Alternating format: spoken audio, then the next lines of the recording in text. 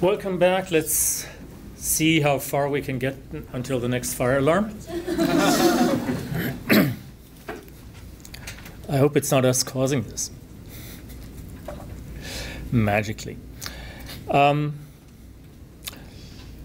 so where were we at? We were discussing string split, and we were specifically discussing why string split needs to put its results into lists.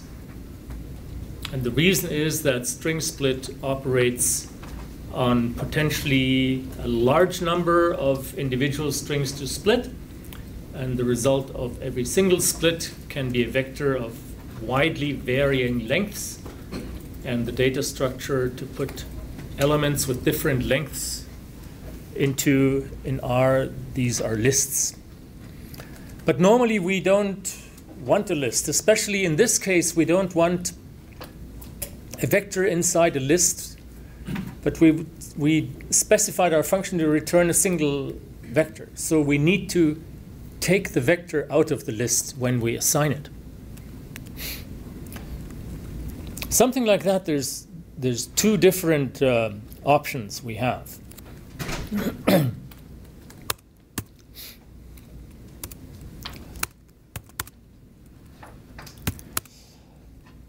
One option is like this.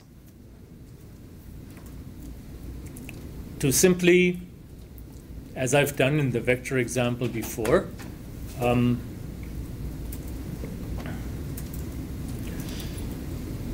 extract from the result for which we know that it's the list, the first list element, which is a vector. We might do this more explicitly.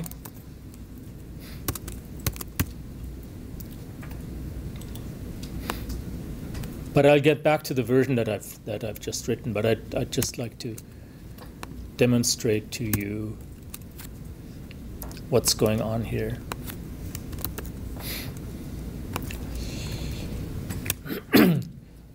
So at first, we have a list of one element which contains a vector with three elements which have been split up. So if we then take this first element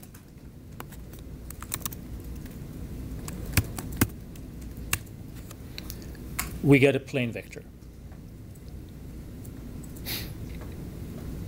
So this is the same thing as I've done before with an intermediate assignment to the variable temp, TMP. But as I said, we don't actually need that intermediate assignment. We can just do this.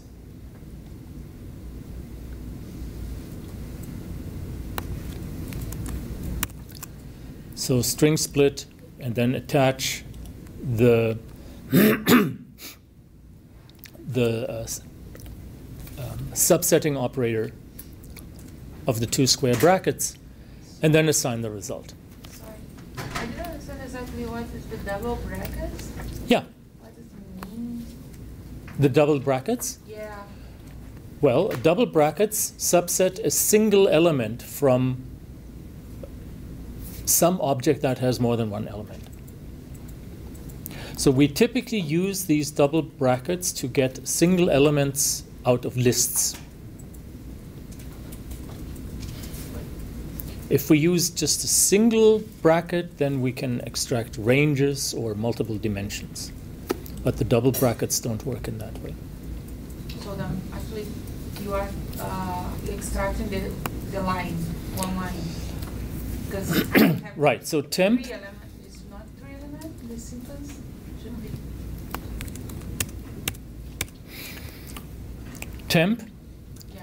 contains Yes. one line. Yeah.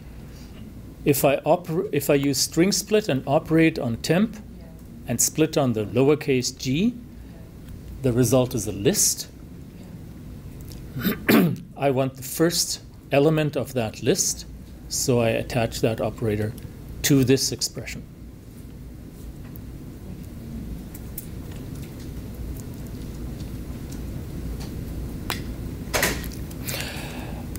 An alternative thing that I could have done is the following.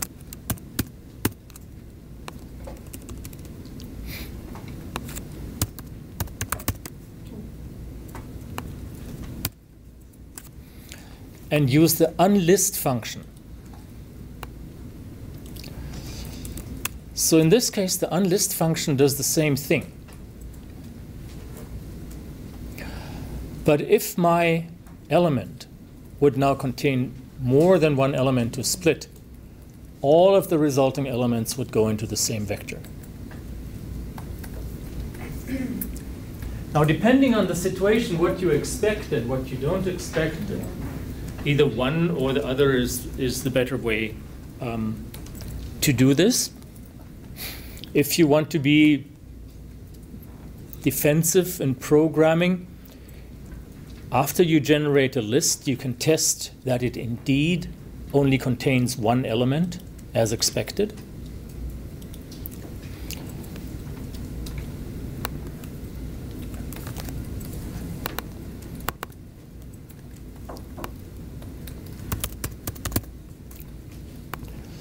So if we look at length of this result here, it is 1, not 3. It's one vector that contains three elements, and the list is the top container.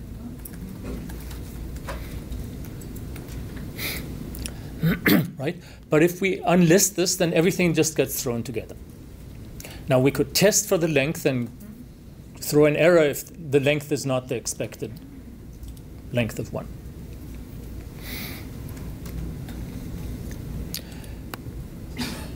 For our code here, it, it really doesn't matter. We can, we can write this in either way. I think in this case I would I would do it this way.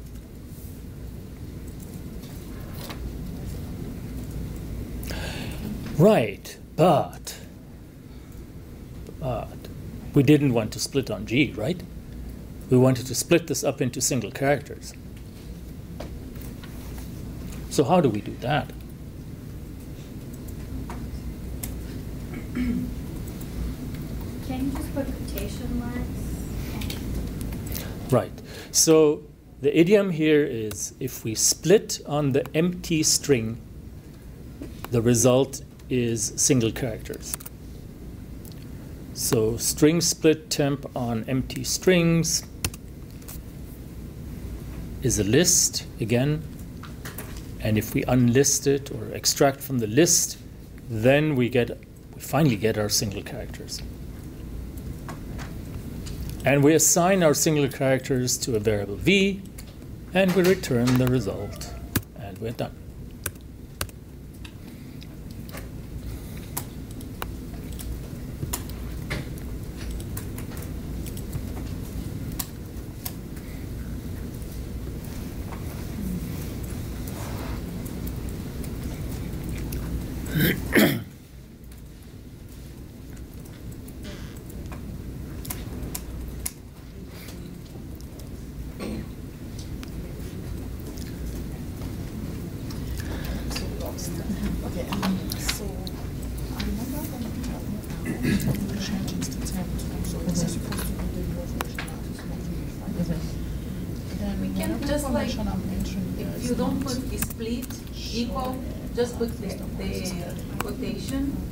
gave the same result, so.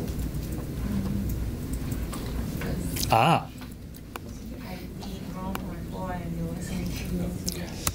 Yes.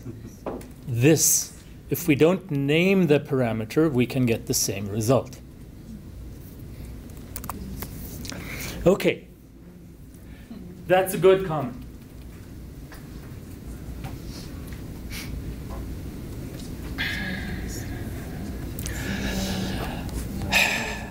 What's this with naming characters and not naming characters?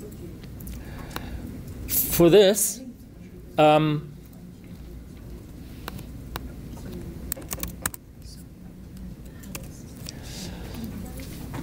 we need to consider how a function actually knows what value what a value is named that is that is passed as a function argument. And that is information we find in the function signature. So if we hover over say string split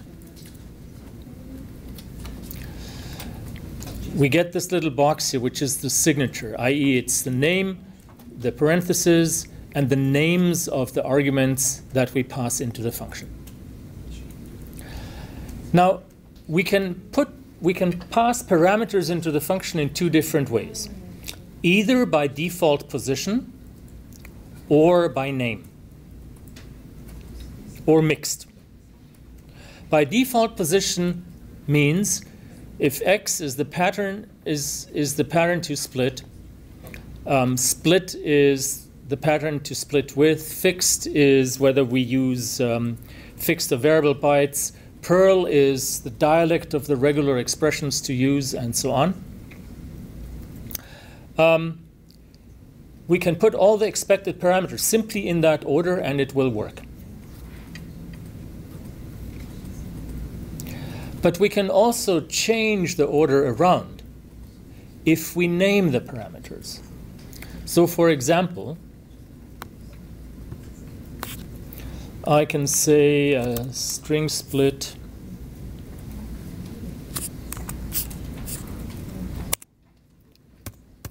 temp empty string and I will get this result.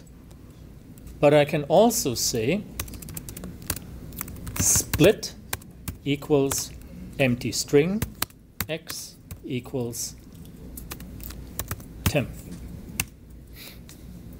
and turn it around.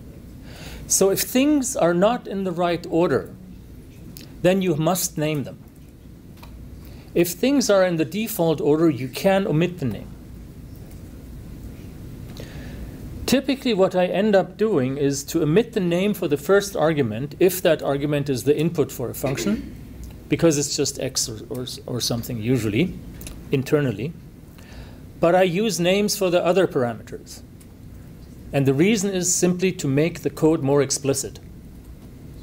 It's easier to read if I know that you know I'm not just passing an empty string and you know what is how, how do I remember the, the function signature? I'd need to look it up and that just wastes time. I can make it explicit and simply say split equals um, the empty string. So string split what, and then pass the parameter. I think this is relatively explicit.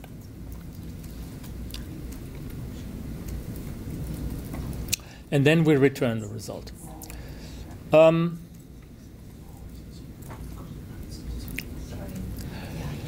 So let's see if it works.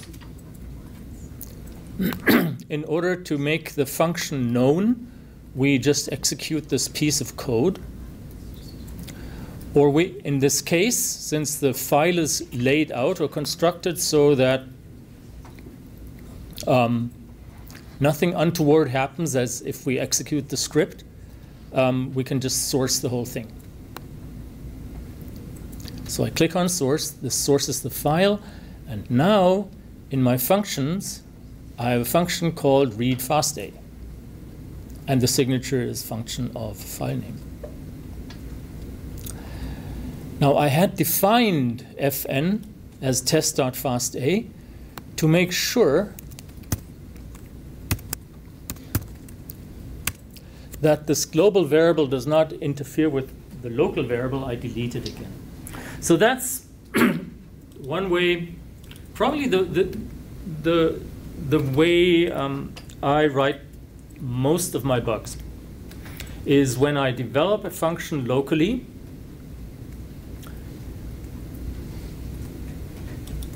define some variables with the names that are used in the functions, And then I run the function and I expect something to happen, but something else happens instead because the variable exists in two places, internally and, and externally. So it's a good idea to, to, to remove such variables um, that you've used for development when you don't need them anymore. So we remove file name. And now, now it should work. Let's try it.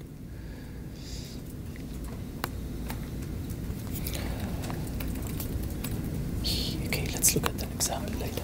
Um, so, um, read fasta, and the file name was uh, test dot fasta.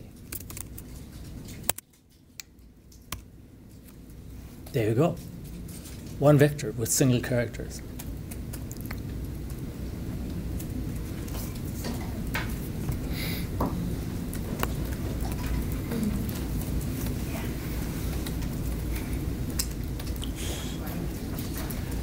Okay, so as a result of this, everybody should have a local function read fasta. If you don't, put up some red post-its and we'll see how we can help. Tammy, Yeah. what's happening instead? I'm not just the I think we just wrote a note here. It was supposed to be in a certain order, right? And when I did this, I just I didn't do Marvin or her, I was just trying. I totally did. So uh, Why is she there? um, it's this. Yeah. So. It's not in our thing. Yeah, it's not. Oh. Can we just, and when I, if I say. So, so, so, so, so, so, so, wait, wait, wait, why do you think it doesn't work? Oh, let's see what else.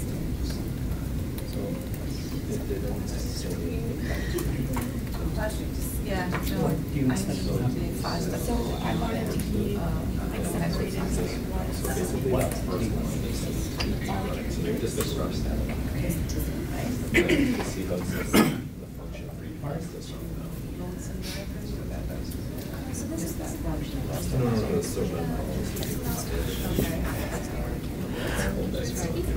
so I have a, I have a, I have a very nice example here.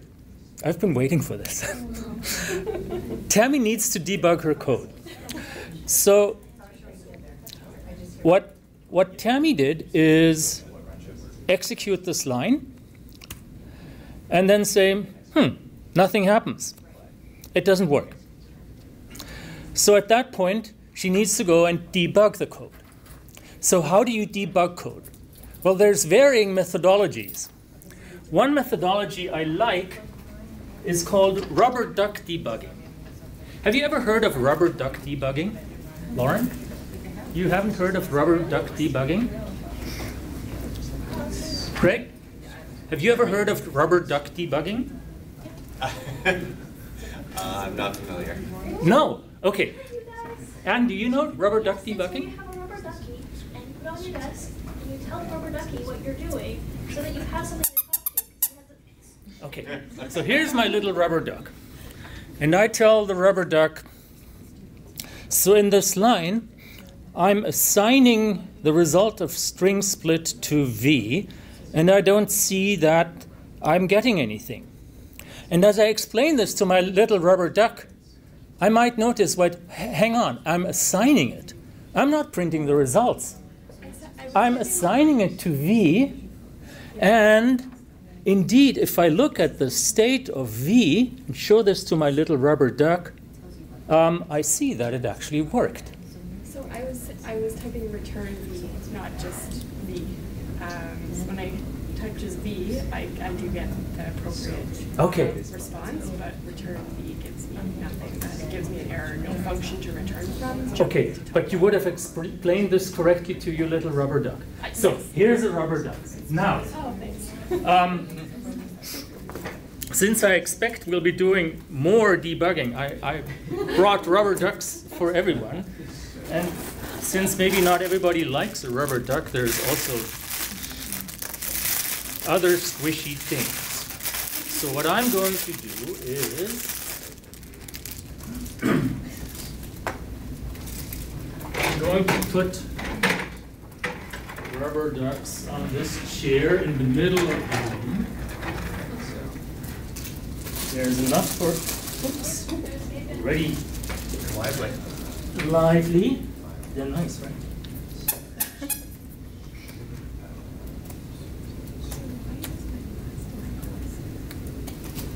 There's enough to go around.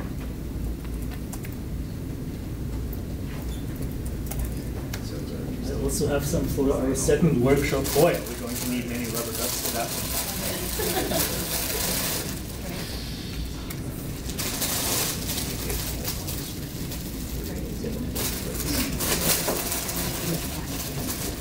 You can test it, but. Pick and choose, have a squeaky rubber duck or a squishy thingy, um, and use it for debugging.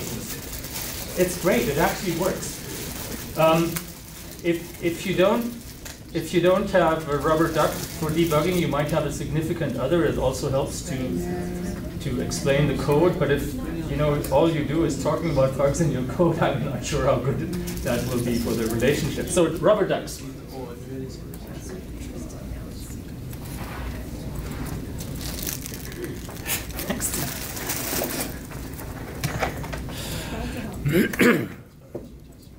Okay. Is everybody at that stage? Everybody has a function? No? Okay, let's debug some more. Those, they're not supposed to be there, that's not what Right. Yes. Oh, sorry, yeah, so, yeah. You're good. All right. Then I just. just Or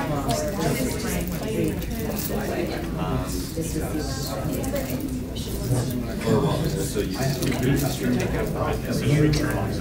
No, I can't. uh, the test. It's like, test. So I said, try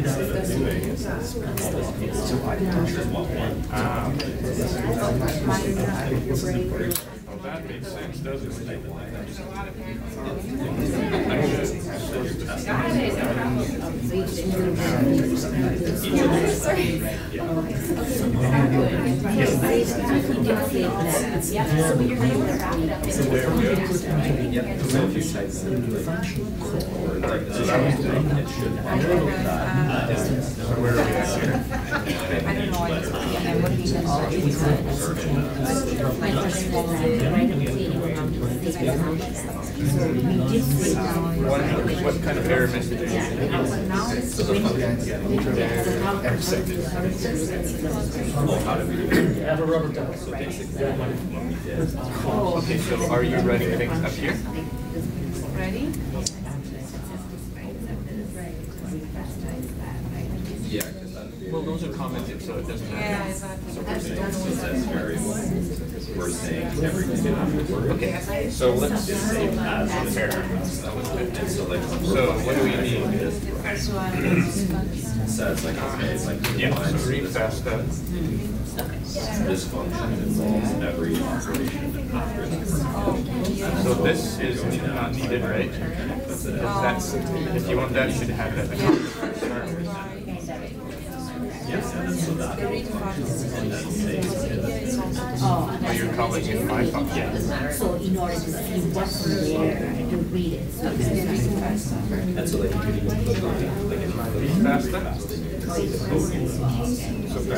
the- so that's the. Great, okay, um, I, I. Yeah, so that, you're defining it as my function.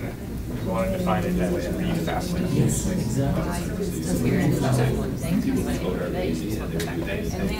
Do it as simply as possible without little. Try it. You know, there might be other issues. so you just have. Yeah. So now see what happens when Like you that's what put you worked in a lot. the read fast Or you can just put read and see what happens down at the bottom. Put it in, but we will come out with oh, now I have. Like instead of fast. That you have the. Uh, we want to try and test Instead it of out fast, read. in our quotations. Yeah. Did you remove the one that he said? Uh, yeah, so we removed, um, It should just. Wait, no, no, no. There's just a few extra things in here that you want to get rid of. Because it's automatically, you go check directory. Awesome, okay. It's gonna go like, okay, where's? This. Working directory and then it, and it's gonna run through.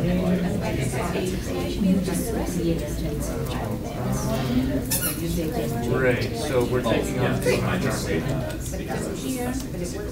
Yeah, that's right. So here, above this is where you define the taking on the code, or line. where you define the function, and then here you're testing the function, so. Yeah, that's just more so a habit, like, like when you. did- Follow up. Yeah, exactly, like. Don't worry about what's in here. No, no, so you just had some extra stuff prior, that you wanna just only have this uh, line. Yeah. Go back to there.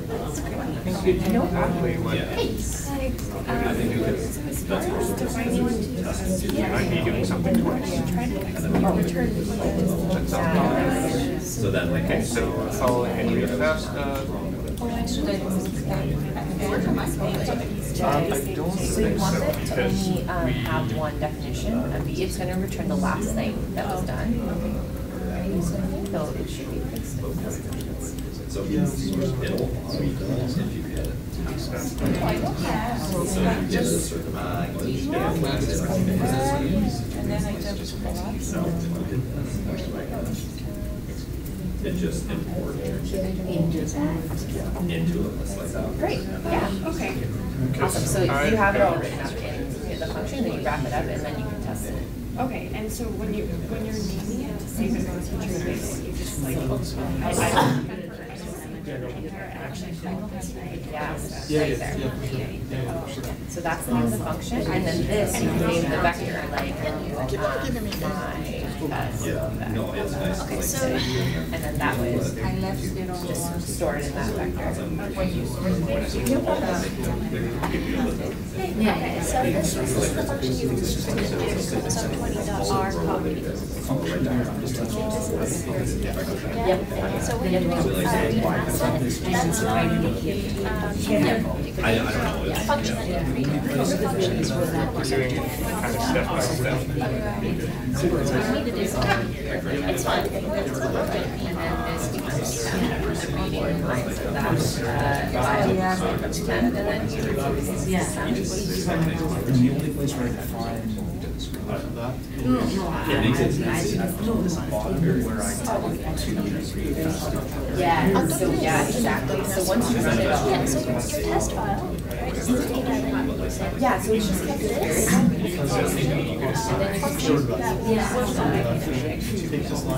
So like,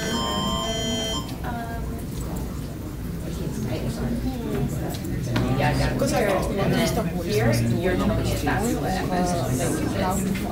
you just want to like, give it a name argument, and then you can.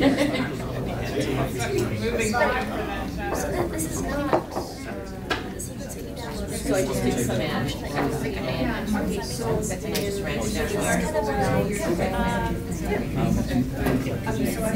It's instructions to work with your data. To work with this. Yeah. Yeah. So, It would work correctly, but oh, we don't have you test. I could never get it to. Okay, so you get this, and this is a list, and the first element of the list is the vector.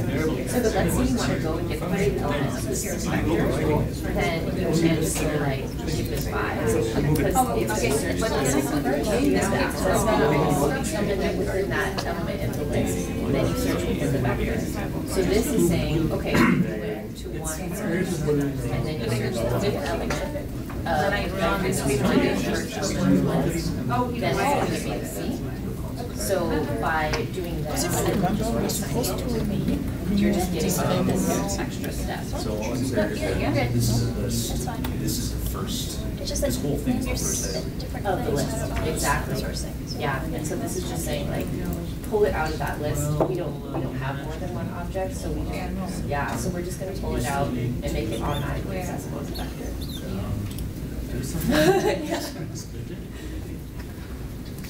So if I go to this, it's gonna be this, also this is the self. Um, well, She's named Chris, her function's named different. Okay. Is it this name then? Yeah. Okay.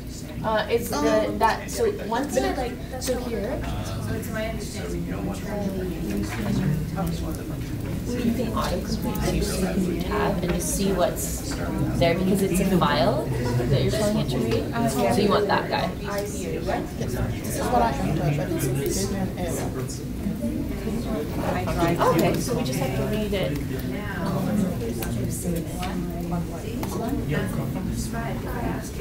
Oh, I see. Okay, so we just have to name this into. Just put it. Yeah, so I just Yeah, was run this whole thing. Yeah, it was a it was a? RM. That means remove. Uh, no, so it's removing this FN object that has been defined earlier. Um,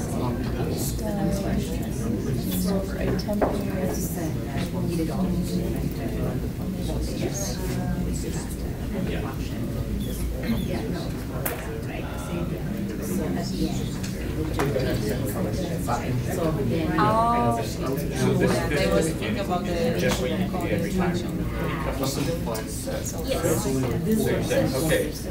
function. So and it's a function that takes this argument. And everything these curly brackets is what do. Okay, so we know that we're gonna be putting, plugging fn into it as file name. And so really, all you would have to do is finish it off with what you want, whatever it is. So that's define all the way up the chain, that you're okay. So does that mean that temp no longer exists? Yes, yeah, exactly. So temp two, I just took it out, I just renamed it into temp. Um, and got rid of that. I'm not saving that. Because what we want is for it temp, okay, now we're gonna take off this. Element, it stays temp, now temp, this new one is passed into this, it's collapsed all together into one, uh, string, and then it's reassigned into temp, like it's written. And now you go and string split that same object and make a new object called B where it's cut up. Okay, but then if you remove that FN earlier on, it's still. Yeah, so, yeah, because the way the function is written, that's our variable. So I can call it something else, uh, fn2, for example. So I, I'm gonna call it fn2, now I have to rename this into fn2. This fn2 comes from here, which is this, what we're right? Um, so when we run the function, so then if we do So all through this, Right you've been- here, I'm in a tab, so when we use that right tab, now it's fn2 all the Right, so it's just the name of the variable. Okay,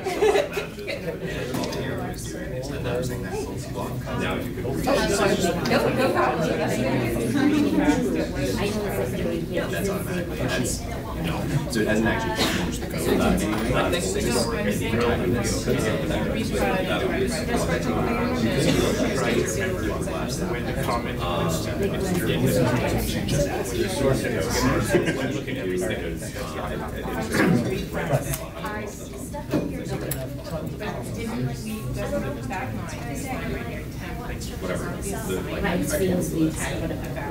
and so we put it in and you'll, you'll in the code like, file. So, so I that there, my It would just output it to your. But yeah, that would require. that's separate. Yeah,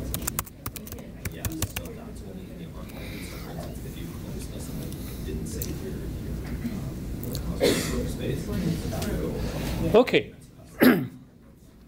so that's all good. Um, now,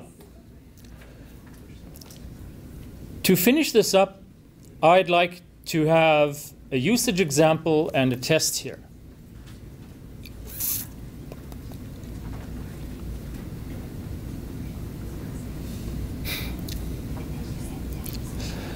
Now, the usage example can be very simple. So all you possibly would want to do is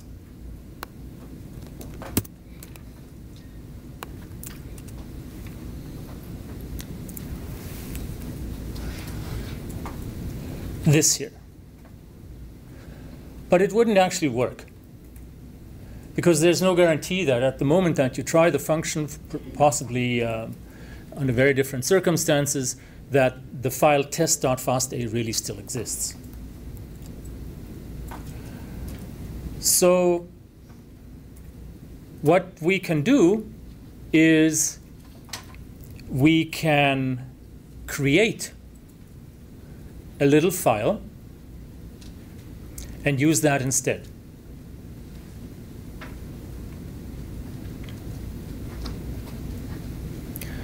Now, when you create a file in a usage example or in a test, there's a problem.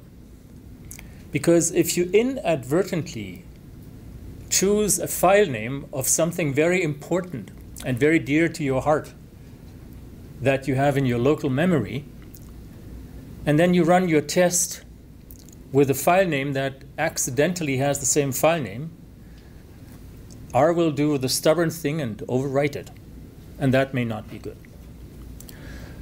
So to guard for that, R has a mechanism to generate files that exist only once, so-called temporary files, through the function temp file. So if I if I run the function temp file without parameters, it gives me a long string of gibberish where it would create a file that is unique and exists only once and in only this place.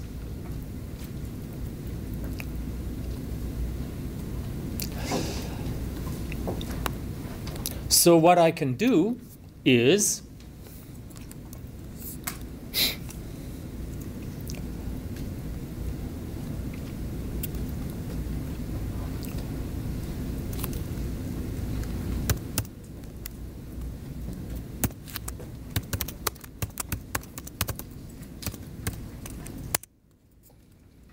create myself a file name. And now I can save to that file my little use case. So do something like um, write lines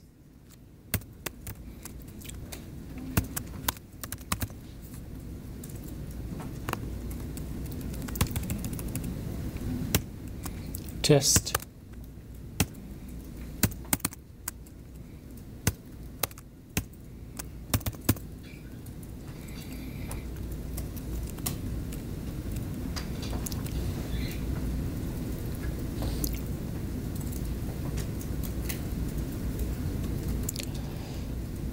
And the write lines arguments require the text to write and a text connection.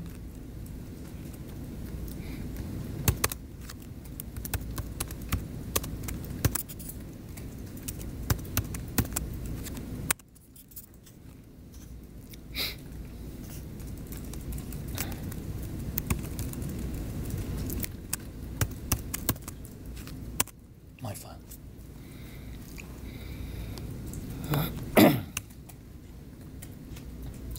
So my file gets a file name, I write to that file name, and then I do read fasta my file.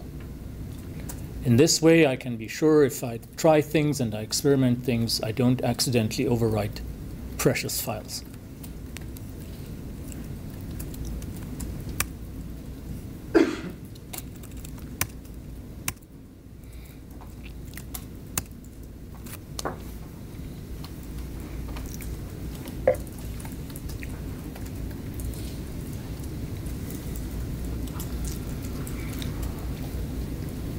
Long does that file exist? It exists until you next close your R session. So it's temporary. The system cleans up when you close your R session. Temporary files and directories are removed.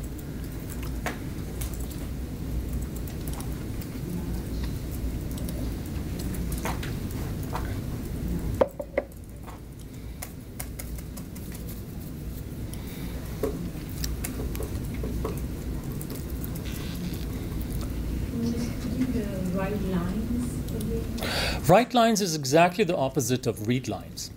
So write lines takes a vector of strings and writes that to a file line by line, each element in a line. Read lines takes a file of lines and reads in a vector of strings. So read lines and write lines are exact opposites.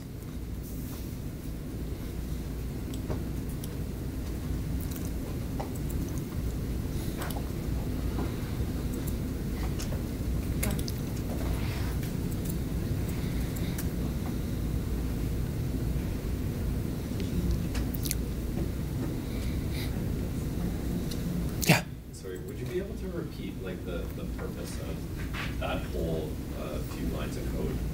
This like here? what, what, yeah, just like the, the entirety of it, like what the purpose. Why. I'm putting this in here? Yeah. This is to remind myself of how to actually use the function. Okay. Okay. So like what is the, sorry, and I know you said it, like the false indicator at the beginning and just the Okay, if the false indicator is so that this block does not get executed when the entire script is sourced. Okay. So the way that we, we use this function, or that the way that we load this function later on is simply to source the entire file. Right. And then this is a utility which becomes, which is a function which then exists in our workspace. However, you know, we can have some housekeeping functions here like examples or tests to make sure that the function actually um, works as expected. Okay. And um, we wouldn't want to execute them every time we load the Right. function. And this is why we put this in a block which kind of hides this from execution. Okay, I see. Thank you. Oh, that's okay. You just Yeah. cleaned up your console, but everything's still there. This is your requirement. So most stuff is. It's not working. But I was trying to.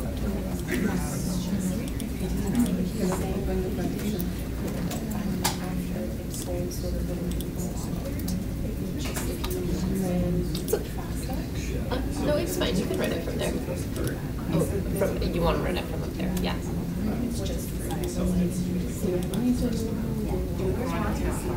Just select them. Sure. Or you can just put your cursor on the same line and just do yeah, Control Enter.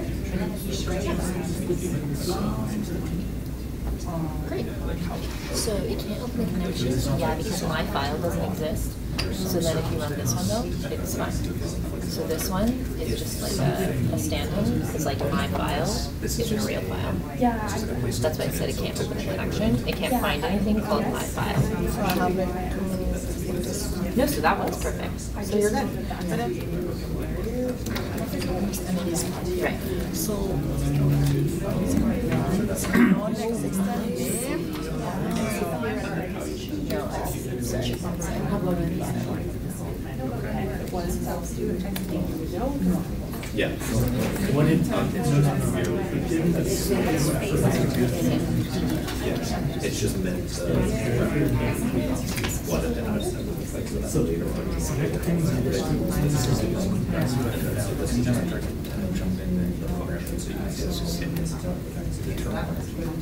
So you may actually know it, so it adds up to it and see how it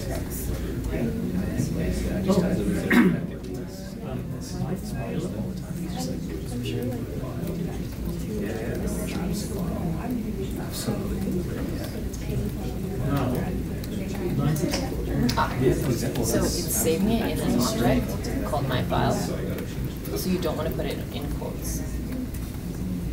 You want to just have it. Yeah. Because the it's an object, it's a temp file object. Yeah. Sorry. So break doesn't come.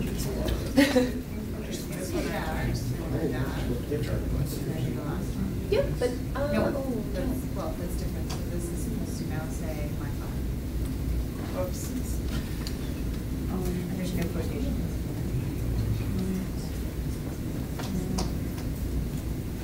Thank you. And I think I just wrote out my, uh, my bad. Okay. I can hold. Okay, so this is so useful. This is good to have. But now, how do we make sure we actually have it every time we run an R session, or at least an R session in our project? Well, there's several ways to do this. Um, often I put code which I need locally in a project in a file that I call utilities or tools, and uh, just source that whenever I start uh, my code. But in this case, um, what I've done is I've constructed this little init.r function or init.r script so that local functions are sourced. So what I'm what I'm doing here is I'm listing all the files in the R directory. And for each script that I find in that R directory where the file name ends with .r, I source the script and I write a little bit of output that that script has been sourced. So if I take that function now and move it into the R directory, read fasta.r.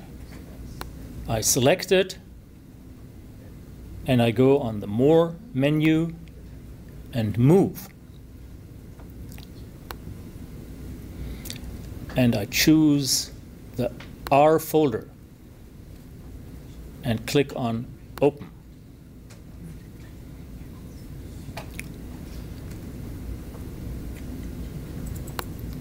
First of all, RStudio uh, complains that the file that I had opened for editing no longer exists because I've moved it elsewhere.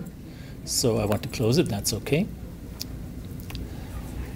Now if I look into my R directory, read fasta.r is now there. And now if I type init, which I would do whenever I open this project or I return to this project, it tells me initializing, sourcing local functions from the .r directory. One of the local functions is .r read fasta.r. So once you have that, every time you open this project and you type init, the function is defined and is known, and you can just use read fasta.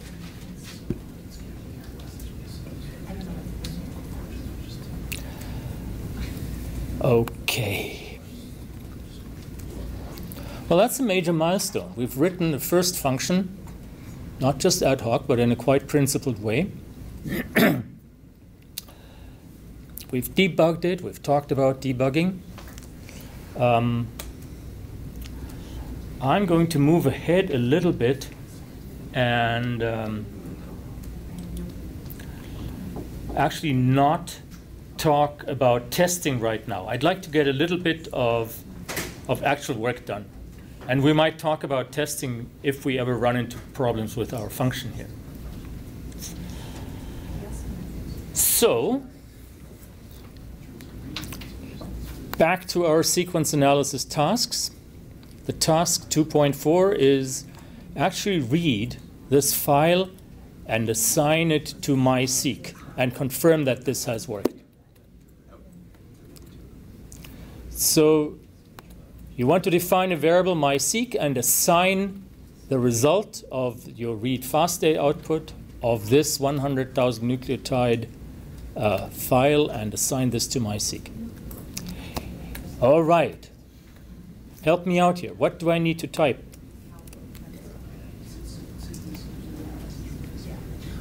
What would you type?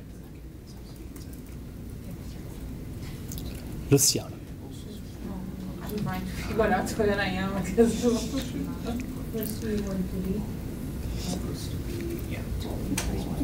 Well, you know, I uh, first of all I want to assign something to MySeq, so I type MySeq. And assign, and then?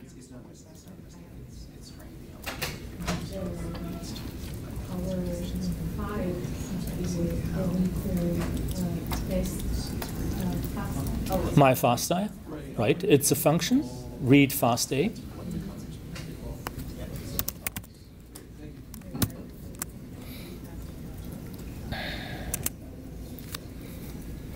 And the function wants a file name, and the file name is this here.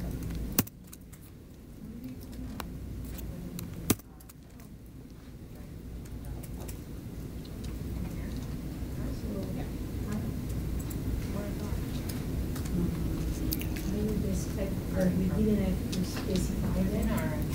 We, I was thinking we did not, need to specify that again because it's already in the need FASTA. No, read fasta is a function. Right, so we need to say run this function on that file and assign the results to MySeq.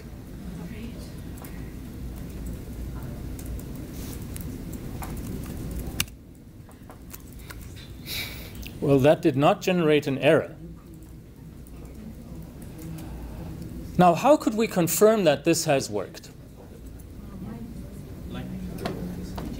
Length. So the first question could be length. So let's see. Length my seek. 100,000. Is that what we expect?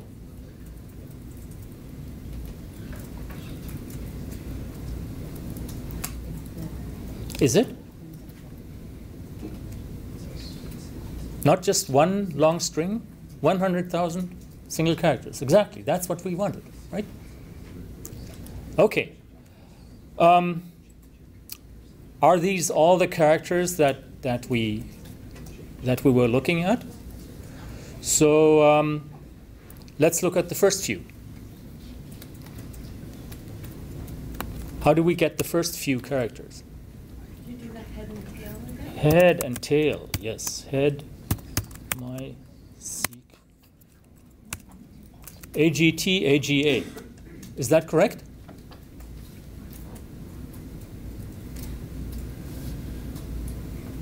Is AGT, AGA the, the way our file ought to start? How do we know?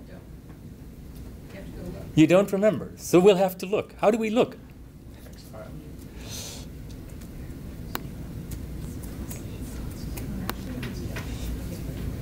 We just open the file. AGT, AGA. Oh, I like that. That looks very good. So the next thing was uh, using tail, right?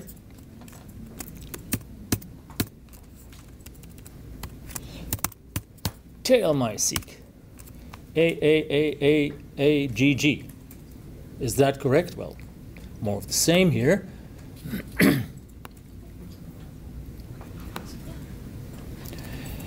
A A A A A G G. Okay.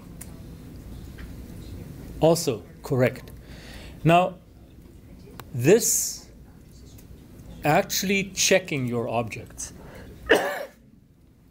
and making sure that what you have in memory corresponds exactly to what you think you should have is good and sound practice. You should always make that a habit. In this business, data is holy.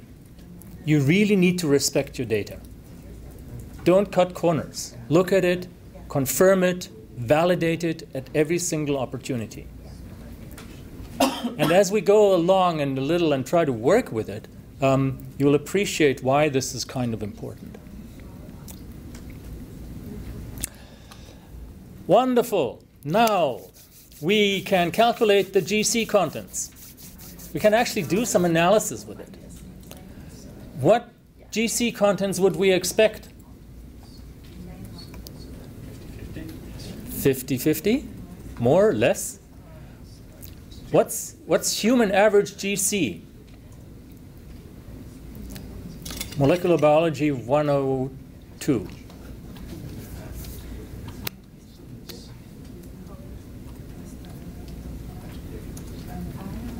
Well, we can calculate it. Uh, I, I, can, I, can, I can tell you. It's about 40%. Okay. But how do we calculate the GC contents? So we have a 100,000 character vector. How do we calculate GC contents? What would you do? Count them and divide by 100,000. You would count them. How do we count them? Table? Hmm? Table? Table. You could match them against some kind of prototype like A, T, G's, and C's and see how many you get at each. Okay. Function where it goes through the whole sequence. Okay. We can do that.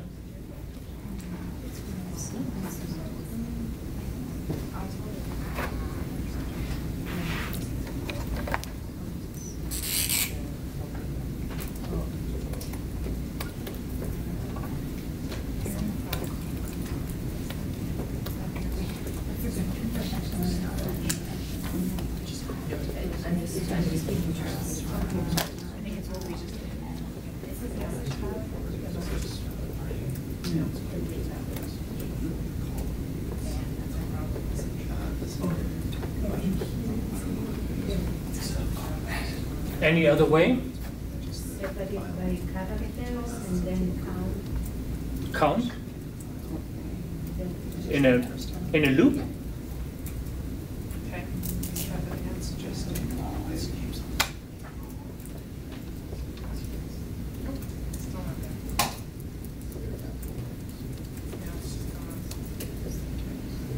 We could do that too.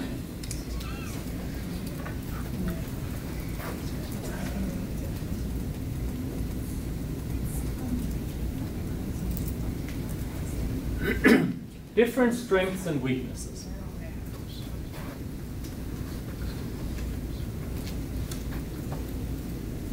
Oh, let's just try them. I just write the code and, and you don't need to write the code too, but you can see what's happening. So let's first run a counter.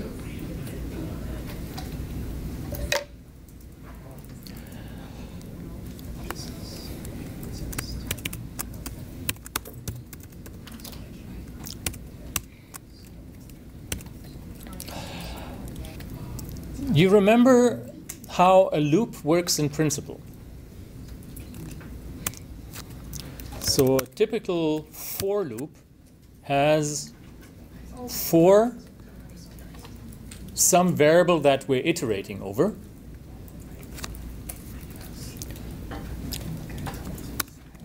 And then doing something. Typical way we, we write an iterator like that is something like for i in the range of 1 to length of mySeq.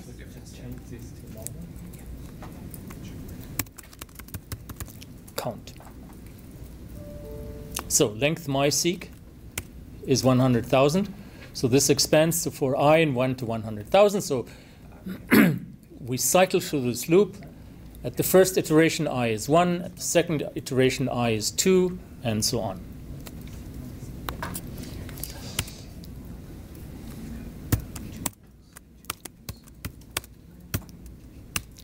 Let's initialize this by a variable that we call NA, number of A's we find in the file, and set that to 0. Then our count would work in this way, that we say if mySeq i equals a, then NA becomes NA plus 1.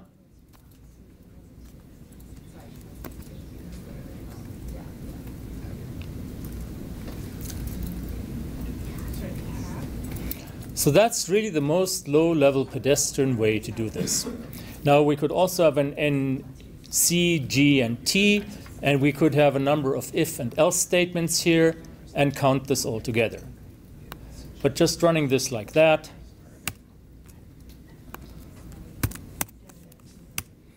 gives us 26,219 A's.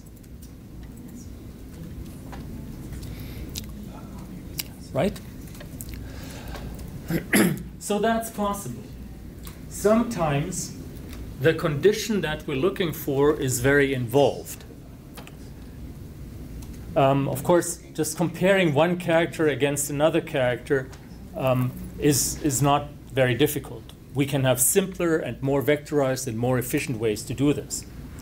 But for example, if you want to find out whether that A has two more A's within 10 nucleotides upstream or downstream, or whether that A is in a list of positions that are highly conserved, or you know, whatever other conditions, then any of the other methods might fail, and you have to revert to this very pedestrian way of just looping over a vector and counting individual occurrences. So this is possible. Now, if you ever like ask on Stack Overflow um, about this kind of code, everybody would just tear their hair and say, no, no, no, no, that's not how you write it in R. Usually it isn't, but there are special cases when that's exactly the right kind of idiom to pursue. But let's look at matching against a pattern and assessing the results. And that's kind of interesting. So let's work with a little smaller subset here, not with 100,000. I'm going to define a vector of, say, the first um, 20 nucleotides from mySeq.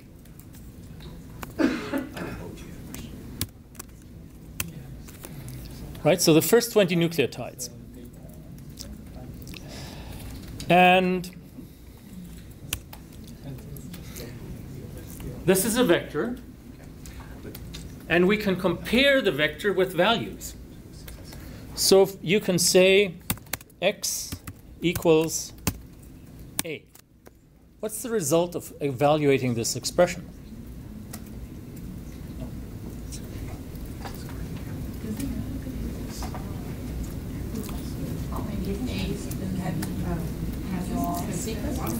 Well, this is a binary operator, the equals operator.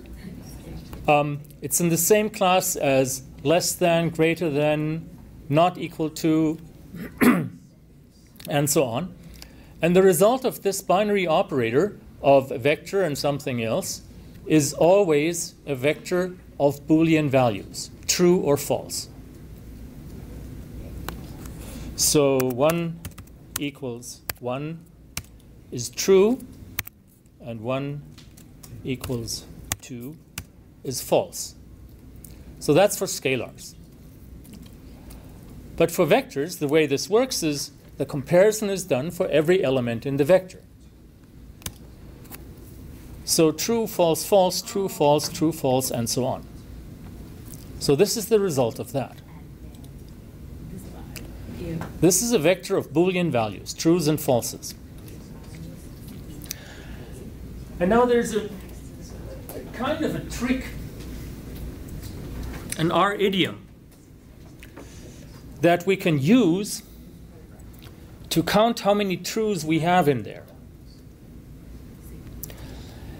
And that depends on casting data types from logical values to numeric values. If we cast true to numeric, we get 1. If we cast false to numeric, we get 0. So by treating this string as a numeric string instead of a Boolean string, it gets converted into a sequence of ones and zeros.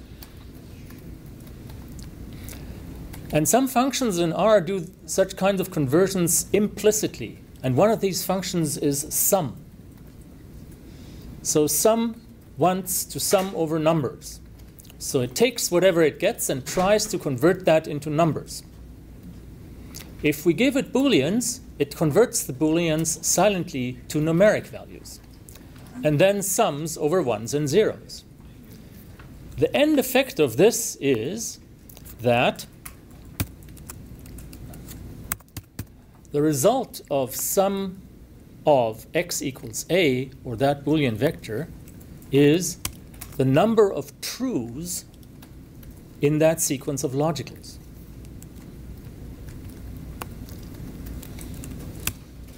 So once again, x is equal to a had one, two, three, four, five truths. And if we sum over these five truths in a longer vector, the result is 5.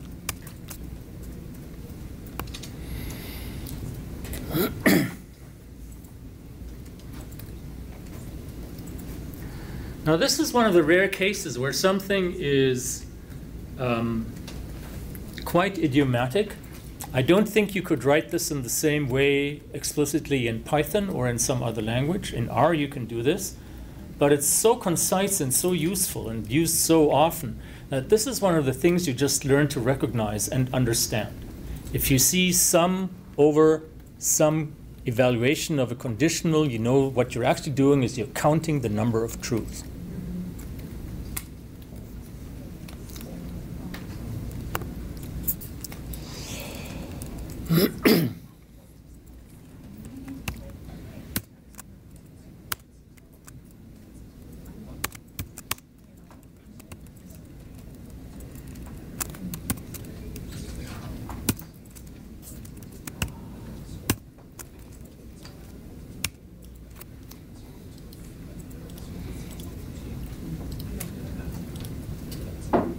right?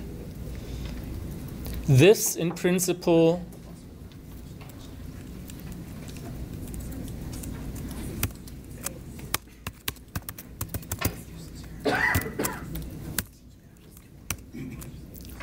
gives us the GC contents.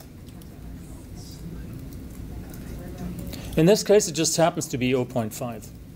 That's, that's just how it turns out to be. So, could we do the same thing for mySeq? Sure.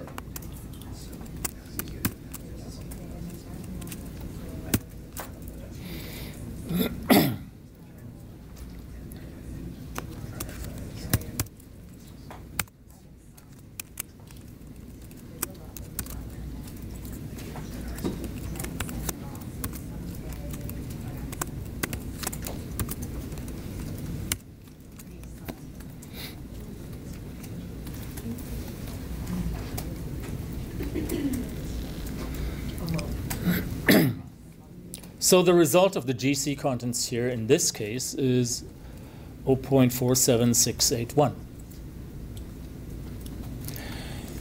Now having to write this separately for C and G is, is a little bit awkward. So I'm going to use the same approach but with a different function which is called grep which is one of the most useful functions in your R toolkit. grep, I think um, the it's an it's it's an, a portmanteau for group representation. Um, it asks for a pattern and some x it works on.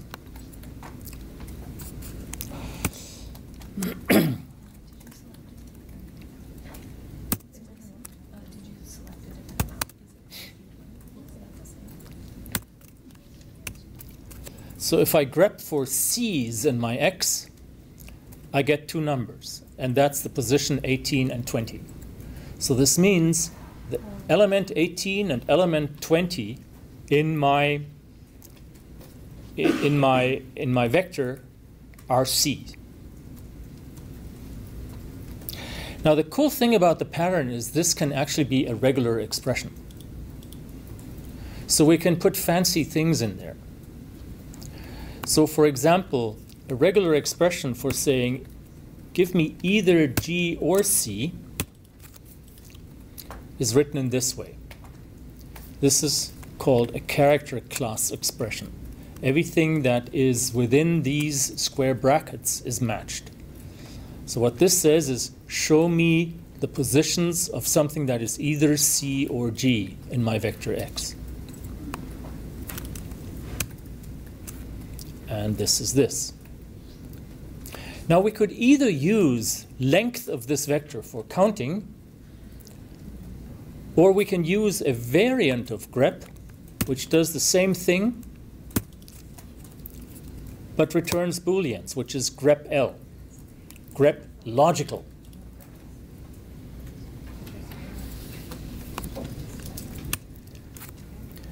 Grep logical gives me again a vector of trues and falses.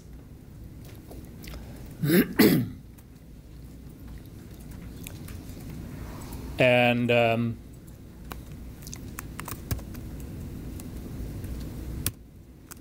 I can sum over that to give me the expected result.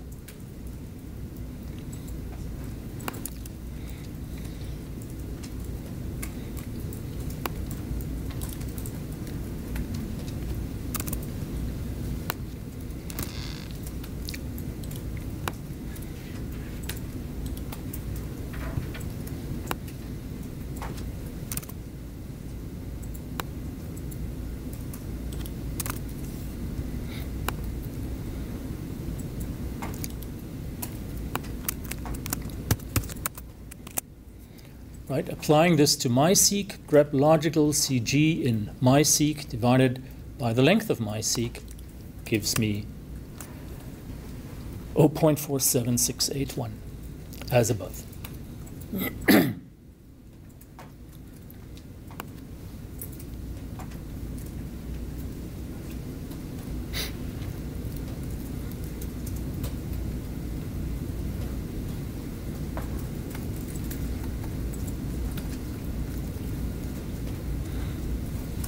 Okay, so we have a strategy of using counting by explicit loops. We have a strategy of comparing in a vectorized expression with either grep or with um, equal sign and summing over the results. But someone mentioned what I think is probably the preferred way to work with this, and that's the function table. Now, table goes through a vector, finds everything that's unique in that vector, and then tells us how often this unique thing occurred in the vector. And that's something that is supremely useful. So let's have a quick look. Table X.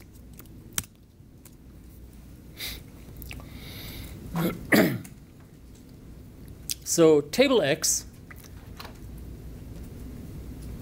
we'll analyze this in a little more detail in a moment, essentially tells us we have five A's, two C's, eight G's, and five T's.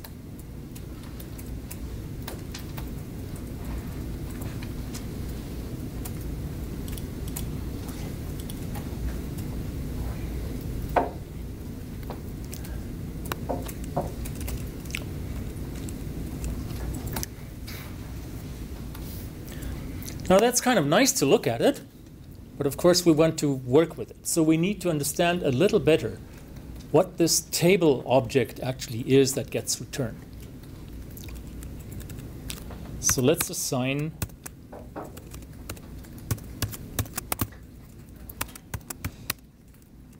the result to a variable. And let's look at the structure.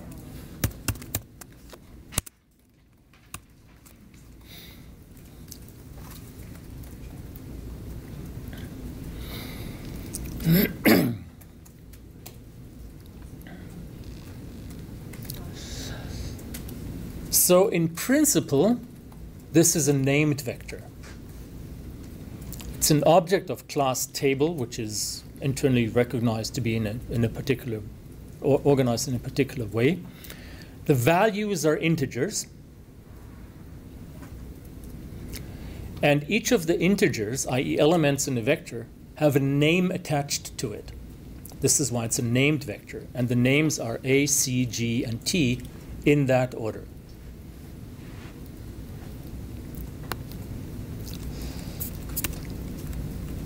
So since these are integers, I can do things like summing over them, which is 20.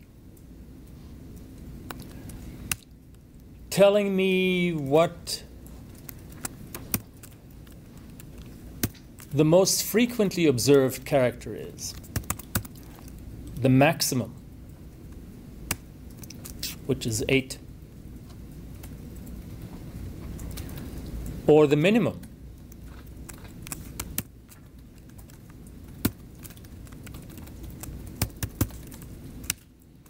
Which is 2.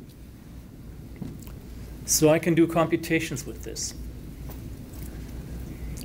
But I can also pull out the individual values that I'm looking for.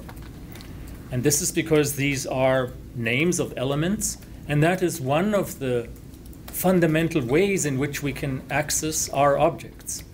Remember, we can access them with indices. A positive index will return us an element of, of one thing, a range will return us many elements, a negative element will remove that uh, from the output, and so on. We can access vectors with logicals. For every position of true, that vector is returned. Or we can access vectors by their names or row names or column names if, if it's a more dimensional object.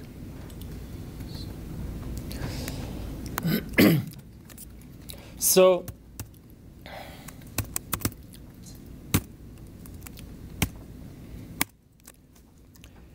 my tab A returns the element from the table output that is named A. And that is 5.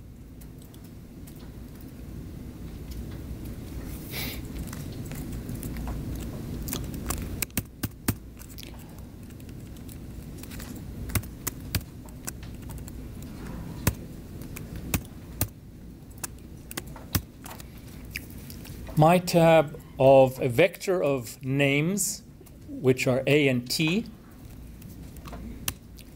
gives us two results here. A and T are both 5.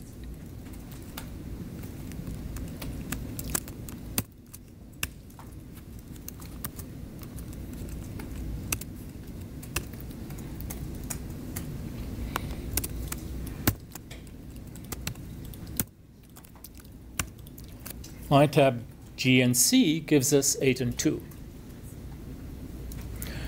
Note that this is not the same order in which they existed in the table. Like I'm getting G first and then C.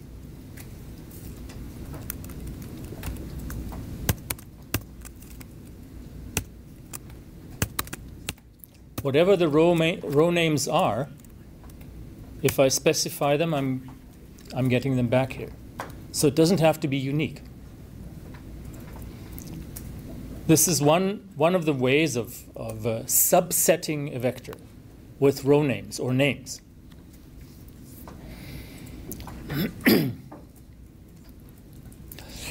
so to write an expression to calculate GC values with a table,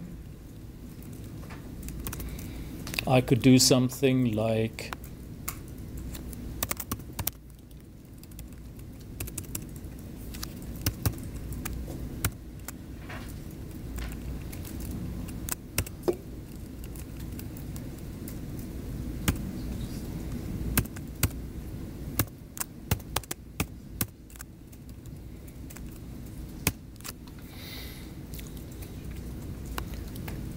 table mySeq, then subset that result to the elements named G and C, then sum over the values, then divide them by the length. So table mySeq is this. Subsetting the table is only these two values. Summing over these two values is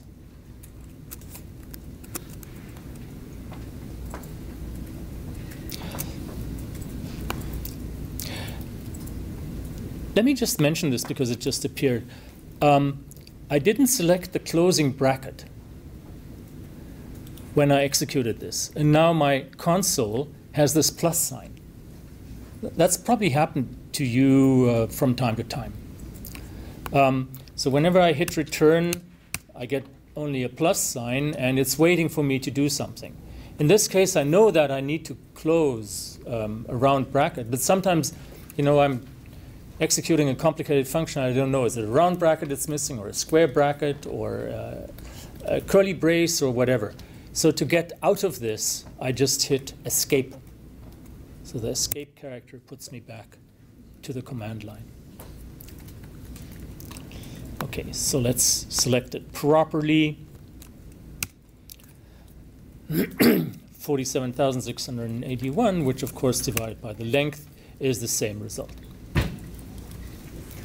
So three different strategies of calculating GC contents. One explicitly, slowly, in a very pedestrian way, but also in a way that allows us to be the most flexible in selecting the situation that we actually want to count by iterating over loops and evaluating some condition within the loop. Number two is comparing against the pattern, and number three is using the table function. The table function would be the one that might be most useful in validating our assumptions over the file. For example, um, if we simply count how often we have a G and C uppercase, we might not notice if our if our um, if our sequence file contains lower, lowercase characters, and we might erroneously not count them. But if we use the table function, we might immediately see that we don't get four categories, but we get eight categories. Right? In this case, since we've done table and we've seen A, C, G, and T, and these are the only ones, this means there is no other character in our file. Incidentally, that's a that's a decent way to validate that your input file only has the expected characters.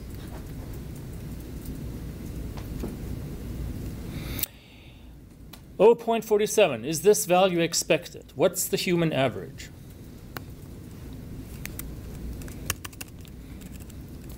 I didn't know that. I Googled that um, when I designed this unit. Um, what do you think? What does Google tell you? What's the expected GC contents in human genome?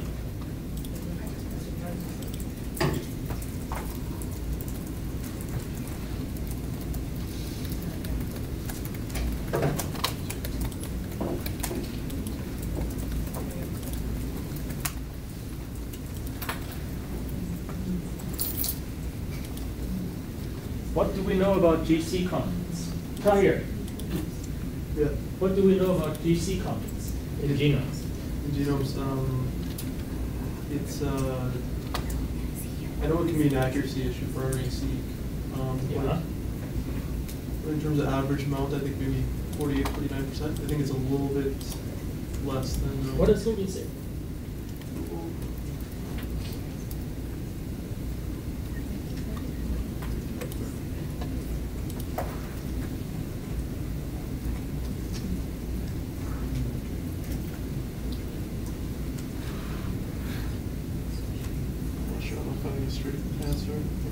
straight answer. Since we're not sure. We're not sure. Because most of the sequencing data hides the telomeric and centromeric regions where GC content is high. Oh, we have regions where GC content is high. So it's not variable throughout. We have tracts where it's high and tracts where it's low.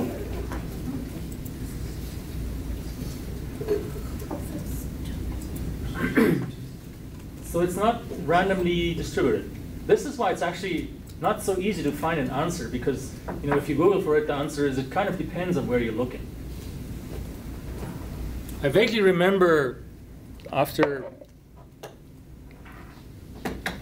spending more time than I wanted to, but in an interesting way, um, I came up with, with an idea that it should be on average around 40% for humans, um, which is less than what we have here. But that there are regions where GC content is much higher and regions where GC content is much lower. So that's kind of interesting. Can we, what's the situation here? Can we find out what our local GC contents looks like?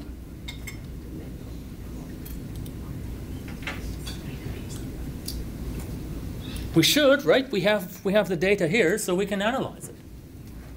Let's look at our local GC contents. So GC contents as a function of position in our nucleotides.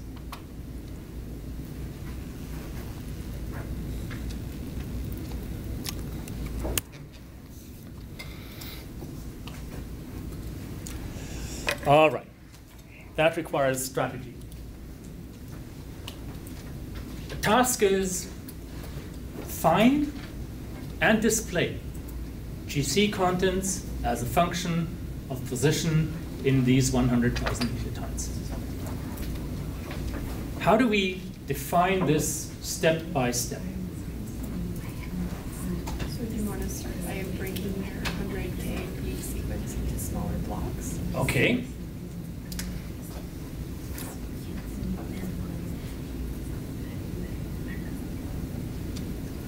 Well, actually, I can I can just write that down here. So, break sequence into blocks.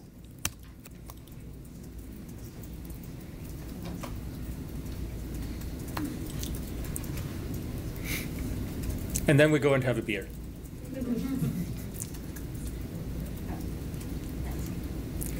You know, co coding R, defining coding R as a drinking game would actually be a lot of fun. because you have to have a lot of steps.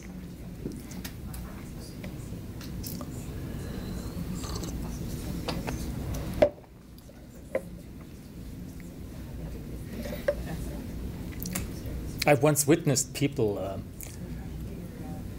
using a, a drinking game for The Bachelorette. Has anybody ever seen The Bachelorette? so they had to drink whenever um, one of them said love, and it was like insane. Like it's never meant, but they, they use that word like millions of times. The worst was when they then decided they'd go with like. Um, so breaking sequence into blocks. We don't get to drink then, we need to do something more. Break the sequence into blocks. Then? Count the GC in each block. Okay.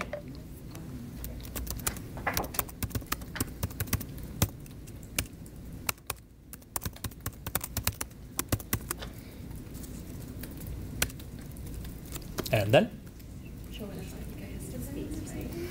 Mm, right now we've only calculated GC. We also need to store the result.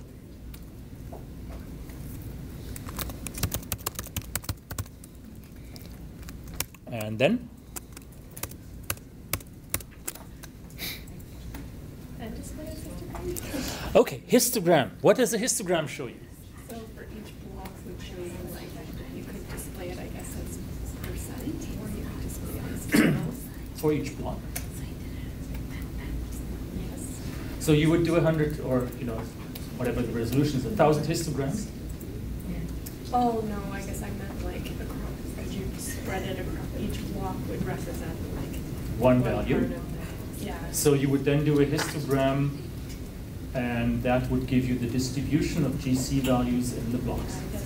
Well, that's, you know, no, no, no, no, no, it wouldn't be very large. We'll have a look at that. But it wouldn't be quite what we were looking for. But it's also an interesting way to analyze the data, so we'll definitely do that. Um, no, what I would do is plot the value by block position. So for the first block, for the second block, for the third block, and so on. So let's just remember the histograms.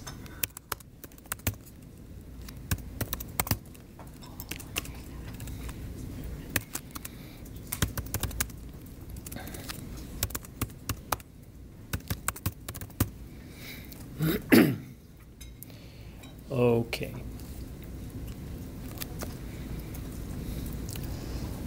Right. So can you do this?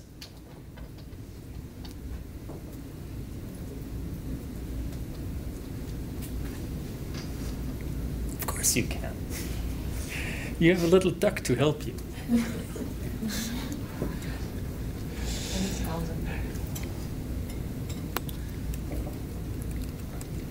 Okay. Now, we can actually break the sequence into blocks by subsetting. You know, 1 to 100, 101 to 200, 201 to 300, and so on, and subset it that way. Um, we don't need to do that because it's all just copying the same sequence data into different positions. So we can just keep the sequence in place and take the histogram for a range from, you know, one position to another position to another position. The advantage for keeping the histogram in place and just adjusting our positions is, in principle, we could have overlapping regions rather than you know just splitting it up.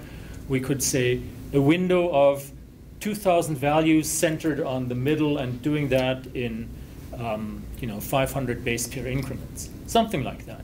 That would be a kind of a smoothed average. But in, in order to do any of that, I would start out by defining myself a vector of indices. Um, and for that, something that's really useful is a function called sequence.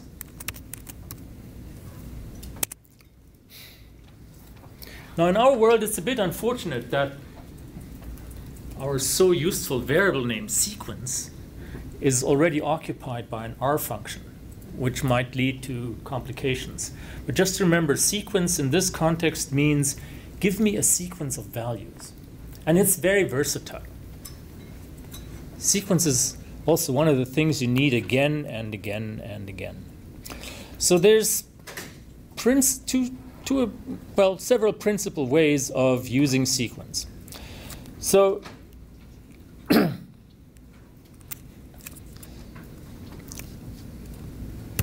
we could have a sequence of 1 to 10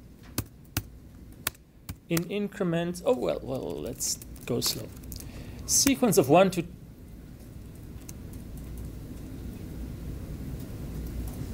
uh, what?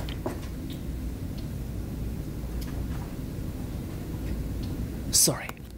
What am I doing?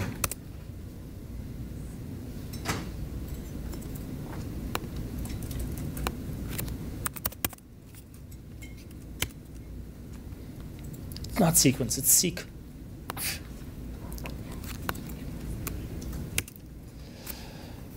So seq of 1 to 10 just gives me 10 values.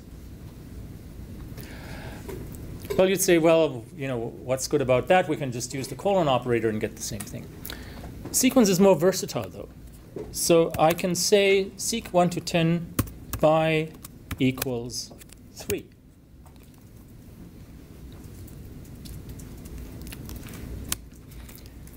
And that increments by 3 every single time. 1 plus 3 is 4, 4 plus 3 is 7, 7 plus 3 is 10. Or if by equals 4, we have 1, 5, 9.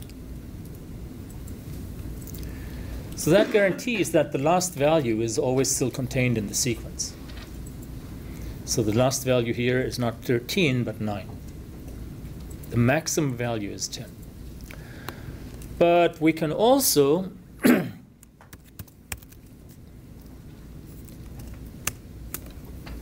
use smaller values.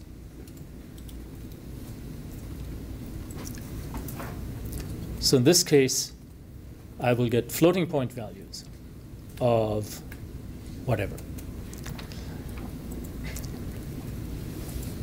Um,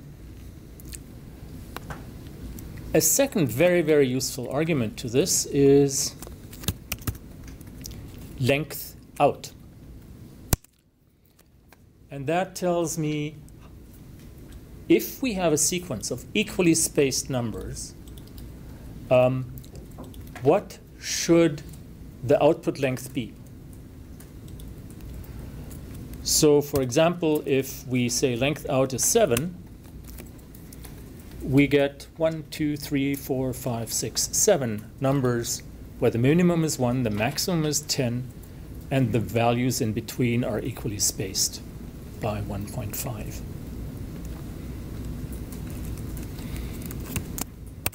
Or if it's 13 we want, we get some different odd values.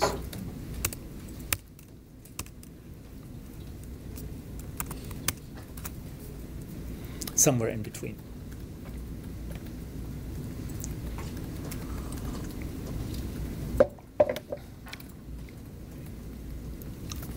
So if we want a vector of indices um, that we want to compute with, um,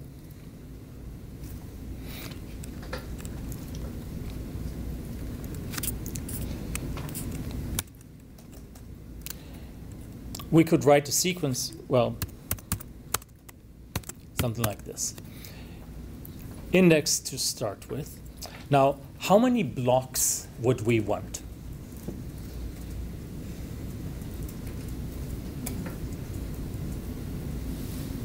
What's useful? 100. 100? 100 sounds good. 200? 300? 1,000? We, we might want to play around with it, right? So let's just, you know, to do this well is let's write this in a way where we don't really need to commit ourselves. We just assign a value of n, and then we don't hard code numbers, but we make everything so that it's relative to our n. Okay, so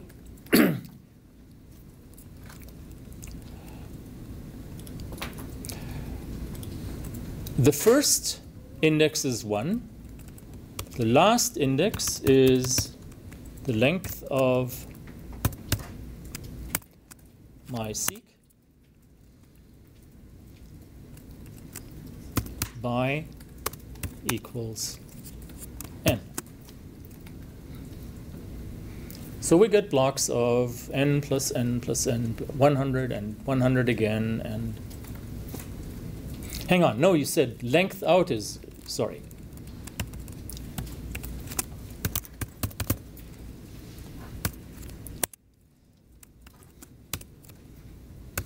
Okay. So this gives us a, a hundred um, blocks of that size. Now, there's a there's a thing about that which you can probably appreciate, um, and that is um, if our length out is such that what sequence returns are not integers, but floating point values. We'll get an error when we try to use them as indices into our vector. So we need to do some kind of rounding.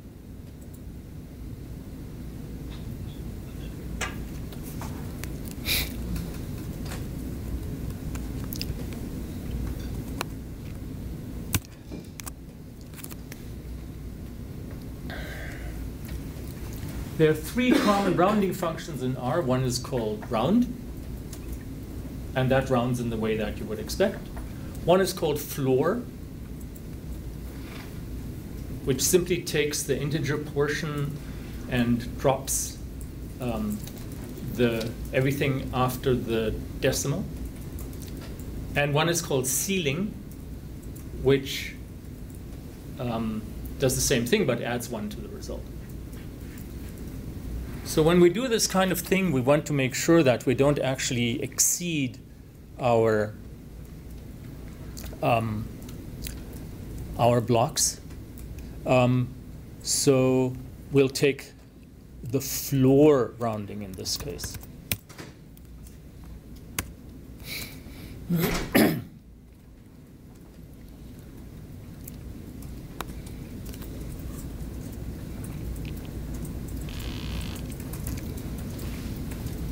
So with 100, it wouldn't apply because we do get integers, but if we have 311, that might be different. All right. Now we have 100 blocks. Um,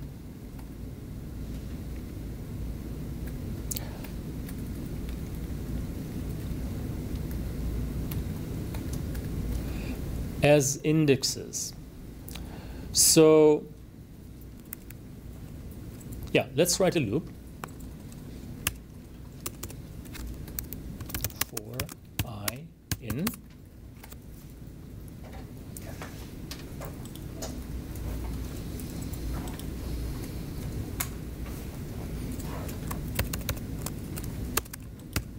I don't know yet.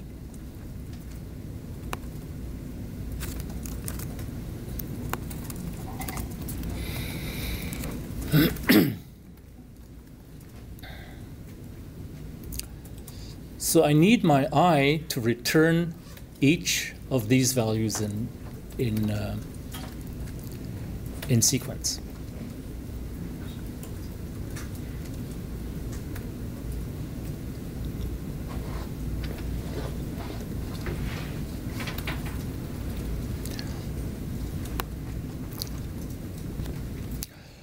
So since idx is a vector, I can simply use that vector here.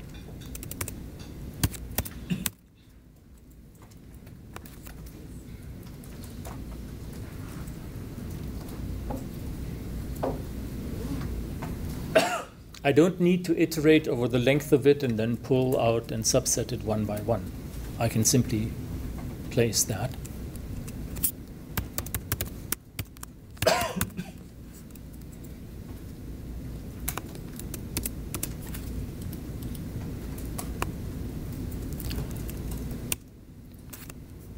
And make sure that that's what I want.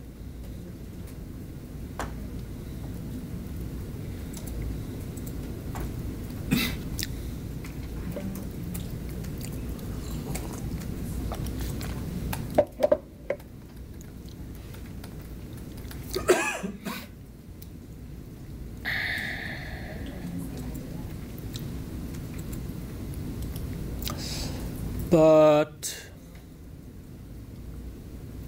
there's a problem here. Because I can, I can immediately appreciate that I can write something that goes from the first to the second, from the second to the third, and so on. But how do we know that we've that we've that we've left over at the end?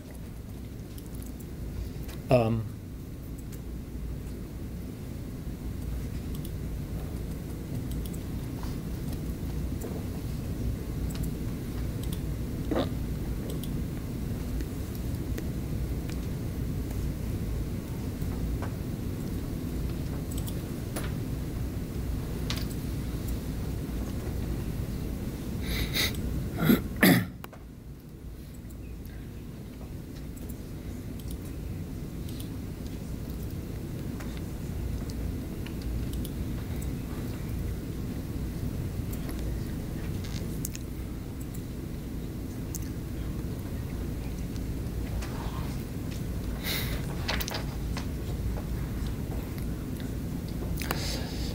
So one way to do this is to actually not iterate over IDX, but iterate only over the first values of um,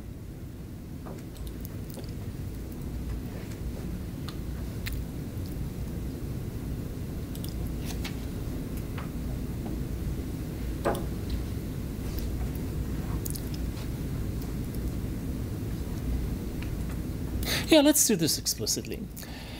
Um, let's use these in principle, but in a, in a, in a somewhat different way. Let's define two index vectors.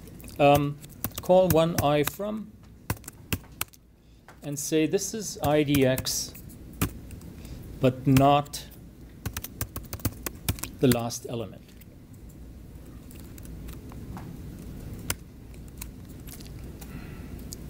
The second one is I2.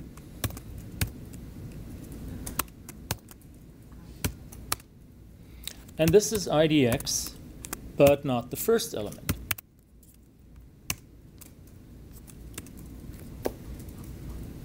Right?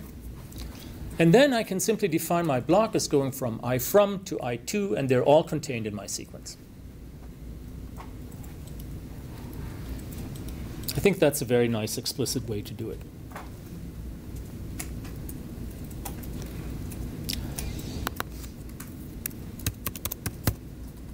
So now we go for i in i from.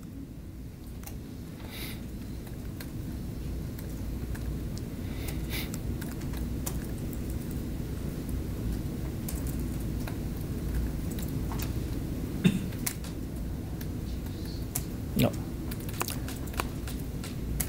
For i in one, two, length i from, because we need to apply to both.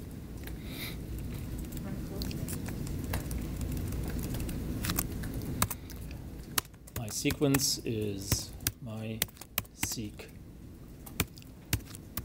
i from i to i.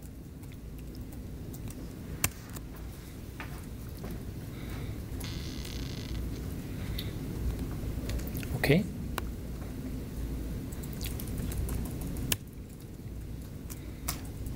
So this is from 1 to 99 for i in every element of this. My sequence is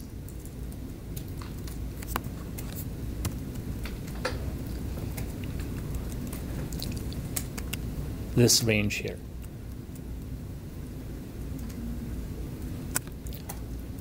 So let's see if this is kind of correct. Let's say i is whatever, 7.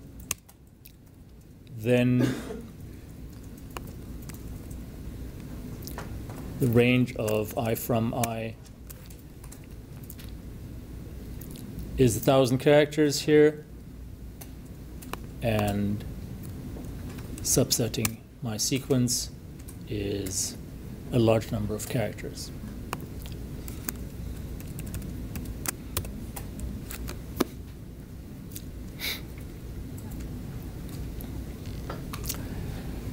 Good. Now we need to calculate the GC of S.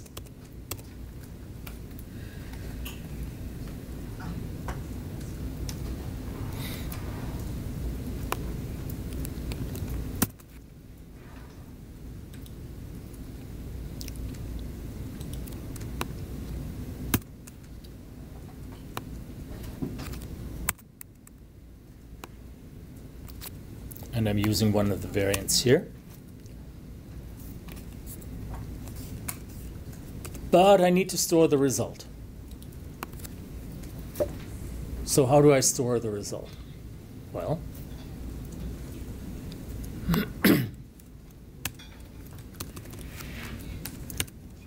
I initialize a vector of results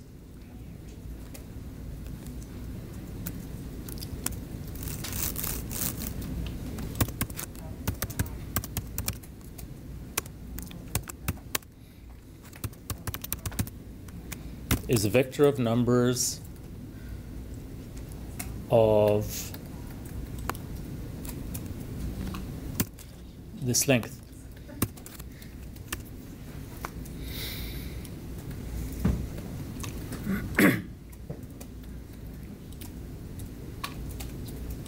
so when we run counting loops or ana analysis loops and store the results somewhere, we should try to be um, really, really careful not to grow our results lists dynamically. So what I could do is I can just initialize my results as a vector, and then I can say, assign this to vector position 1, assign this to position 2, assign this to position 3, and the vector grows dynamically as I assign to positions that the vector doesn't even have in the beginning. So a small vector goes into a large vector until all my results are done. But this is one of the computationally most expensive things that you can do in R because it requires a lot of memory management. So when R generates a variable, it allocates a little bit of the computer memory for that variable. When that variable then dynamically grows, it has to allocate enough for the larger by negotiating with the operating system to, to um, allocate space that we can fit the larger object into.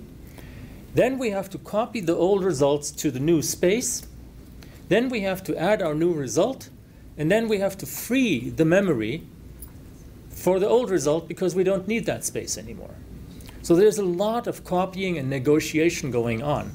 And this makes the process convenient but supremely slow. So whenever you can avoid that, code gets to be like, you know, at least 10 times faster.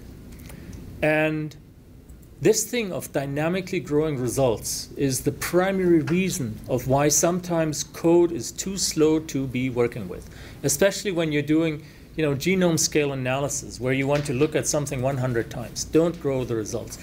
If at all possible, figure out before you run the analysis how large the result is going to be and then pre-allocate the space.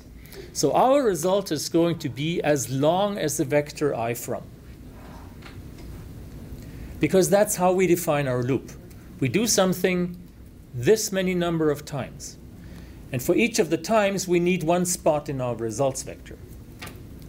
So that length, we need numeric values of that length, and we just call them GC profile. So this is now a vector of 99 elements, and each of the elements is 0.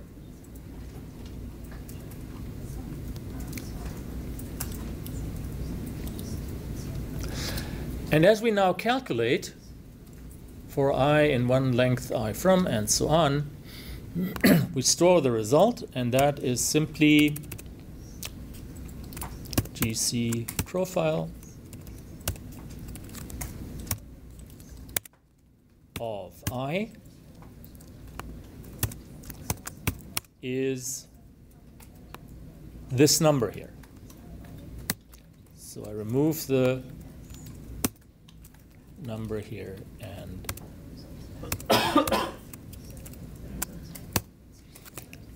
save it. Okay, once again, for each starting block, we define the sequence. We sum over the GC contents we divide by the length, and we store this in GC profile.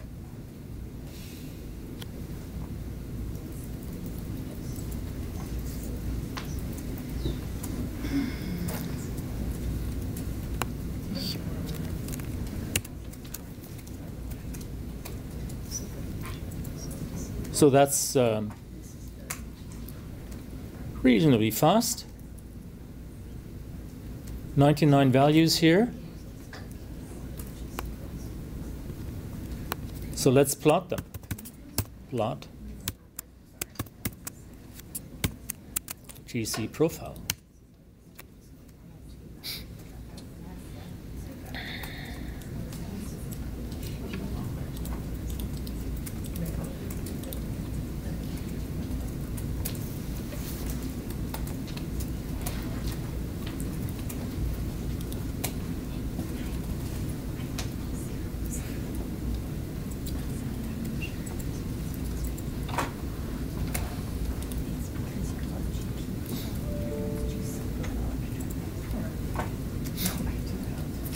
Does that look correct? No.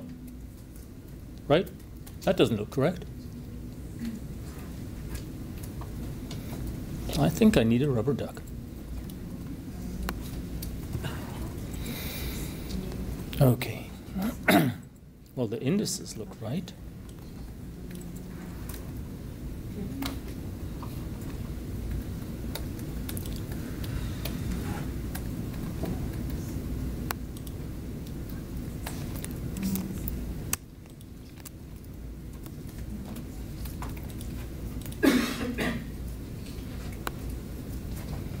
These values look right.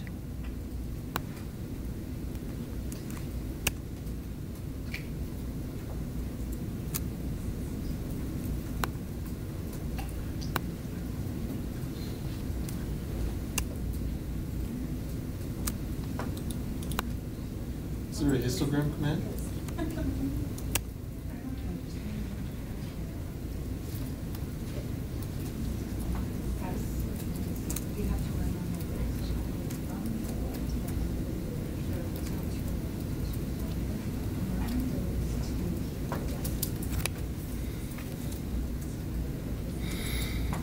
But that doesn't look right.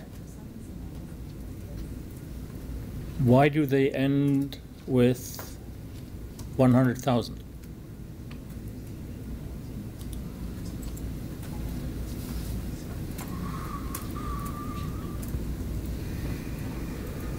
Let me redo this just to be sure. So IDX is a vector, 100 elements of that.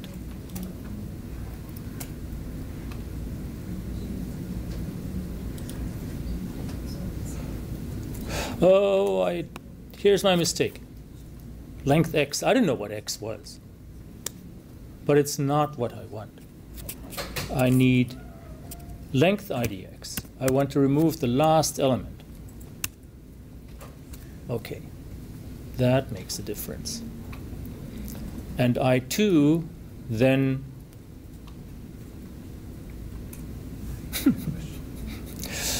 Okay, and I can immediately see what happens. So x had the value of 20, so it started working until here. And then um, I removed the value, and that made our i from and i2 to be the same value.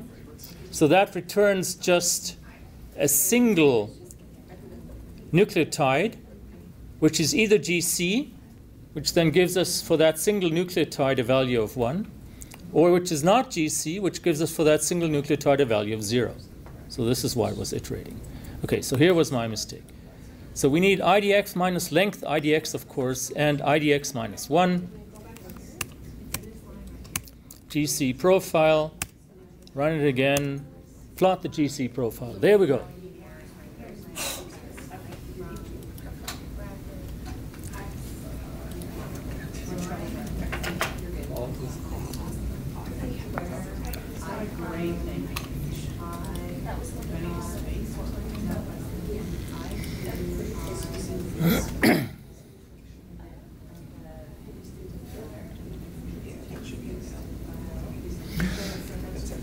So note what this means. This means that we have regions in there where our GC contents approaches 1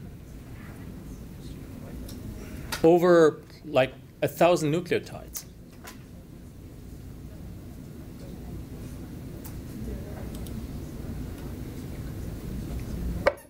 Is that actually true? Well, let's check that. So how do we find the coordinates that this maximum value here corresponds to?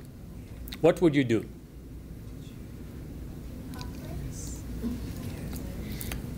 What would you do? How do, how do you find the coordinates for this here?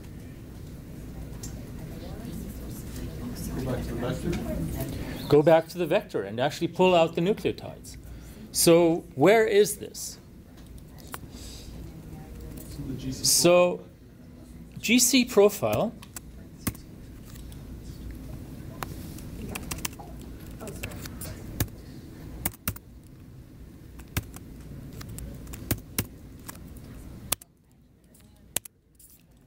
the maximum value is 0.778 in GC profile, almost 80%. Now, one thing that we often need is we need to look into a vector and identify where is that largest value.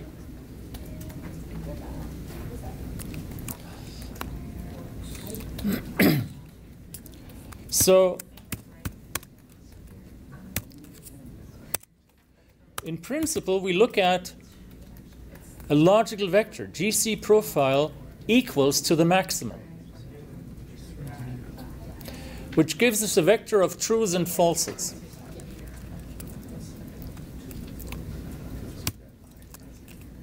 There's an expression, there's a function here, which, given a vector of truths and falses, tells us where in the vector they are. And that's which. So this is an idiom we use a lot. Which GC profile equals max GC profile, or which GC profile is min GC profile, or something like that. So which identifies the position in the vector of logicals. And that is position 76.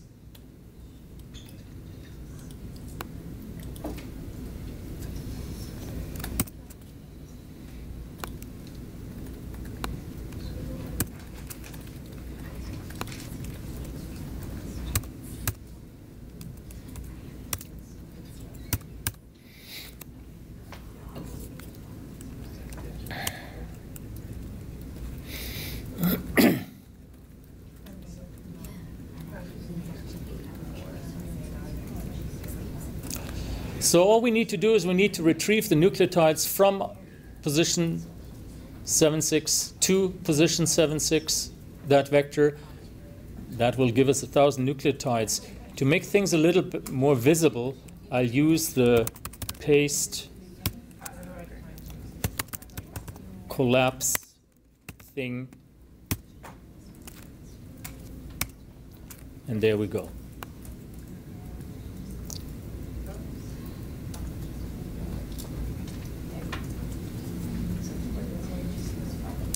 So note that we don't actually have a lot of CGs. We have stretches of Cs and stretches of Gs. So the GC content is very high. But in terms of dinucleotides, that's going to be interesting. Okay, so what we've done is we have prepared the 100,000 nucleotides that we've downloaded from Ensembl in a way that we can start analyzing things. And we've run a few simple analyses to start looking and quantitatively looking at features of our data here. One of the features was looking at GC contents, and we've calculated that globally as a value over our nucleotides and we've also looked at how do we iterate over positions and then get positional information. And we've seen that the positional information of GC contents is not random but structured. There are stretches of DNA sequence that have significantly higher GC contents than the surrounding regions.